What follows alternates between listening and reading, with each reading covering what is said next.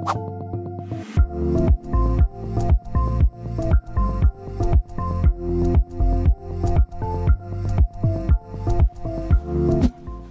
there, Dana DeSarle, PGA teaching professional here at the club at Arrow Creek. We're going to go over one of my favorite drills, the lead arm drill, as it relates to the Titleist TPI kinematic sequence and our PGA laws and principles teaching model. Equates to ball flight laws for club face positioning and in the principles specifically to principle 5, our lever system, and principle 11, our lead wristed impact.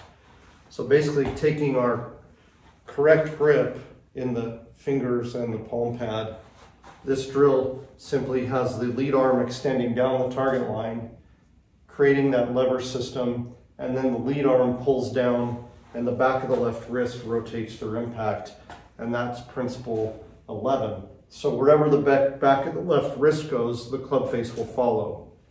And this is a great drill to create that motor pattern and awareness of getting your lead arm to lead so that you're not coming over the top or flipping the club with your trail arm.